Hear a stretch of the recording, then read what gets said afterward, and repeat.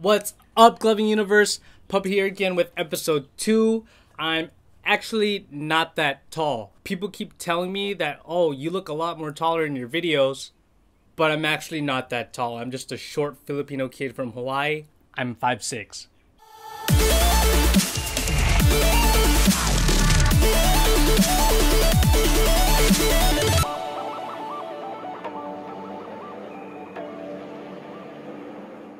So before we talk about anything important, you guys want to come with me to a party?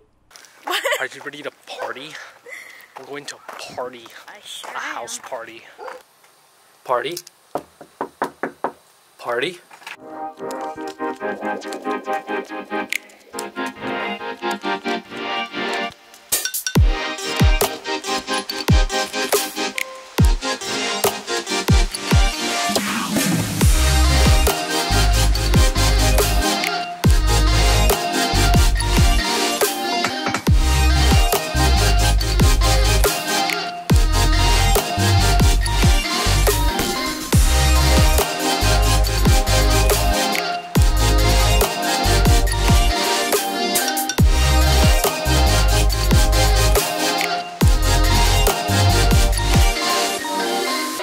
Yo, man, are you getting your face melted right now?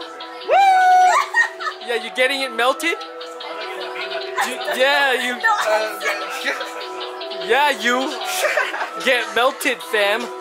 You know, I think I like going to house parties a little bit more than events or raves because it's just a lot more chill. You get to hang out with your homies, and there's like not that random girl that's like,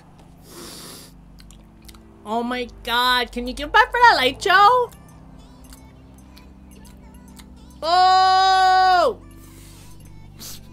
I mean, that's fun too, though, sometimes. So, first off, big shout outs to my I am brother, I am Atlantis. He recently went to Japan and did this sick ass project videos where he got to see Gundams and like this cool mirror LED thingy place thingy. And man, I wish I got to see Gundams. Like pretty soon that thing's gonna be blasting into space like woo! It's not even a Gundam. Just gonna put it here. Also, shout out to my boy 30k. If you haven't seen the video already, he actually came to me like about a month ago talking to me like how he wanted to do this concept video. I'm just really happy to be able to make this thing come to life. I'll have both videos linked down below. Go check it out. Like I love project videos. You know, I've actually had a lot of people ask me how I make these videos. So all you aspiring filmmakers and gloving content uh, producers, uh, this one's for you. Hope this helps. I always have these random sparks of creativity whenever I hear a song that I like. Like it isn't like, oh, I'm gonna go make a project video, then I go searching for that song. That's not how I work. It's more so like, oh, there's a song playing and I'll just like start getting more engaged to it and I start to formulate the idea. So first things first, get a song that you like. Second thing that I do is that once I find the song, I will literally stare at my computer screen for a good two to three hours. Like I'm not joking. I literally stare at my computer for two to three hours listening to the song and I'm just imagining what this thing is gonna look like. The third thing that I do is I make a outline or a timeline on exactly what shots I want, or rather, I'll write the timestamp for what shots I want. Like from zero seconds to 10 seconds, like drone shot of the mountain, and then like from 15 seconds to 20 seconds, like me and Tweety looking at each other like super epically. 30 seconds to 35 seconds is like the slow mo shot of the I am flag. And then you pretty much go through the whole song so you know exactly what shots you want. And this takes a bit of practice trying to envision exactly the whole project. Like, trust me, it takes a lot of practice. And then when I'm done outlining the shots, I make a shot list. Like, you see this? This is literally the shot list for Mez's video, the Face My Fears one. This is literally it. I got like a bunch of notes, and you can kind of see that, like, some of these are different colors. That's indicating the location that I shot. Like, you can tell, like, on the top, it's got like, orange, and the bottom is orange. So like what I would actually do is like I'll shoot all the orange first and then I'll shoot like all the blue second. So you know you're shooting everything at one time rather than having to go back and forth. This saves you a lot of time. And then once I get the shot list, I'll print it out and then I'll go out and shoot. And while I'm shooting, I will always refer back to the shot list because while you're shooting, I well, I typically get super confused on wait, did we already get that shot? Like what shot am I on next? Because you know, you want to be organized as Glovers were stuck on this time crunch. How, how, how, many times has this happened to you where you're like, oh man, I want to shoot in front of this really scenic area or like by this cool ass water fountain. And then like the time comes and your gloves finally illuminate. It's like six o'clock, right? And then like you're gloving and then like you don't get the shot that you want. And then like it's super dark now. Like, like I wasted my time.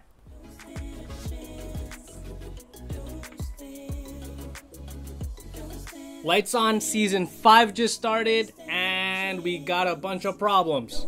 There seems to be already some kind of quarrel with, you know, like I, I think I heard like some guy was like no longer in novice bracket or something, and then I heard like there was a ex Glover that shouldn't belong in this bracket because they're too good.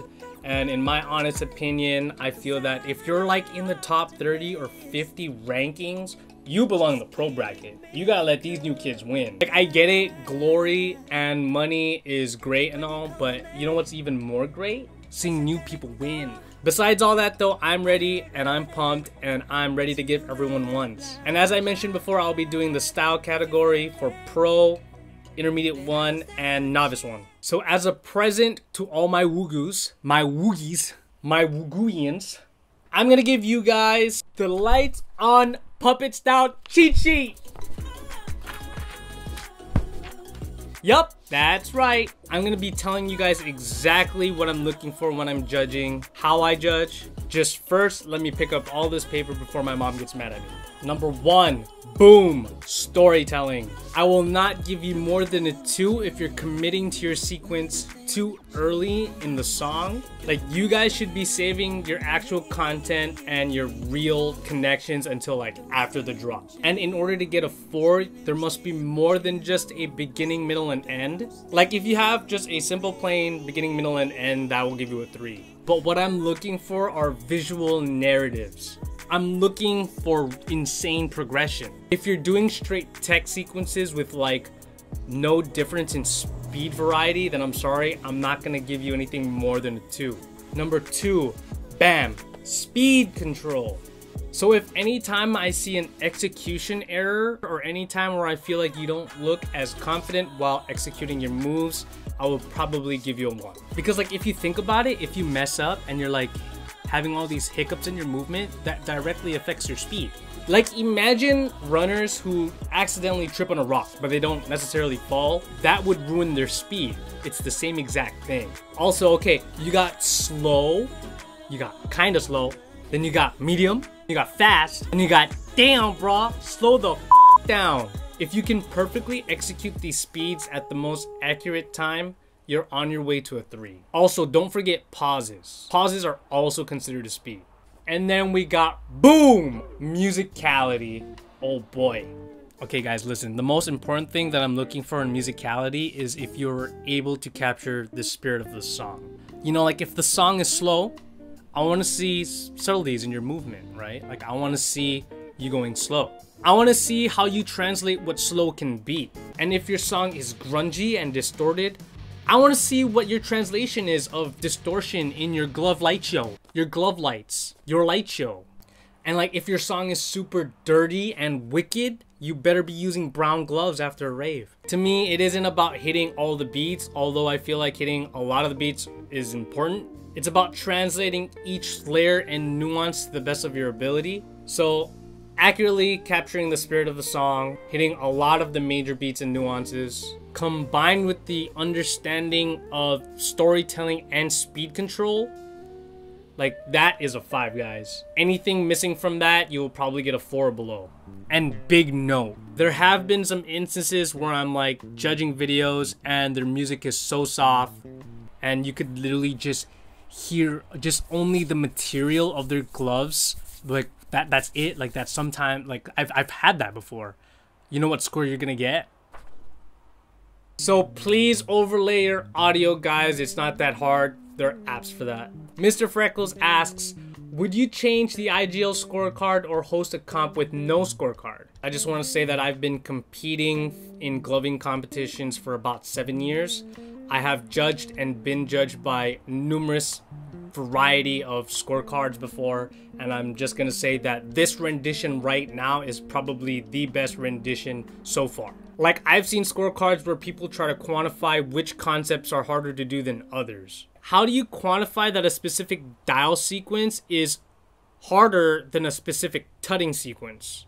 For one, you'd have to pay attention to literally all the micro movements that this glover is doing, which is like impossible to do like on the spot for the whole show. Like, oh, okay, we got a king tut to a platform to a digit dial sequence. Oh my god, into the gunshot. We have a platform sequence again into a Chrissy Crossy Shaka move. And then you have to factor in genetics. Like, what if it was physically more difficult for Glover A to do a specific tutting sequence than Glover B just because of their genetics? Like, how do you quantify all this? Like, you see my pinky? I can't bend my right pinky because my tendon is connected with my ring here. The like the tendons are connected or whatever. And like, what if I were to like magically bend it one day? That would be really complex for me personally, right? Like, would that deserve a five in complexity? I'm gonna just say it. Judging will always have its subjectivity we all have different views, different backgrounds, different styles. There's probably never ever gonna be a perfect scorecard. If I were to make changes though, I'd probably put presence under style, use of space under presentation, and speed control under execution because the terminology just makes sense. Would I host a comp with no scorecard? Yes, I would. However, the judges would have to be very good at what they're doing. They'd have to know almost everything about gloving. And it probably wouldn't be a 32 man bracket. I'd have it down to like 16. So I had someone ask me from the last episode, how do you create your own style? First thing is you need a goal. You need to visualize in your head what your own perfection looks like. Like for me personally, I wanted to have a style where I was very explosive and very theatrical. So whenever I got inspired by something, let's say I watched something that was super explosive or super theatrical, like why do I like that kind of stuff? What about them being explosive or theatrical makes it good? I hope that makes sense. Like sometimes I'll bump into videos where I'm like, wow, that guy was really explosive. Like, why was that explosive? What about it do I like? And then you could take that and manipulate it and then use it in your own gloving. Whenever you're inspired, don't just copy the movements, build on it. Like add your own flair to it. For me personally, I've always wanted to use perspectives and angles that like nobody else really use. Everyone wants to be different. You physically have to go out there and see what everyone is doing so you know what not to do, if that makes sense. You have to pay attention to what concepts are out there and see what you like from them. Pick and choose a characteristic of a concept that you can take and manipulate on your own. Like, think about this, okay? What if there was a guy out there that loved the theatricalness of materia, but they want to do tech like clumsy? Boom, voila, you got puzzle flails. Alright, guys, and this episode's Glover Spotlight goes out to Disco Wolf. First off, dude, I love the Glover name this show to me was just super freaking trippy. Like this guy's use of speed and pauses really allowed me to appreciate his moves, you know? And like his use of repetitions with dials have like this super hypnotic effect. And I'm not even sure if it's the camera, but like this is a good example of using a blinky set, especially with this type of style. It's like perfect actually. Love the concepts, love the presence. If you haven't already watched it, Go check them out. I'll have the video down below. And this concludes our episode, guys. I hope you liked it. Also, if you order from Emazing, use code Aloha Nation for that 10% off. And if you want me to potentially go over a specific topic, comment down below. Hope you guys have a wonderful day. Peace out and woohoo!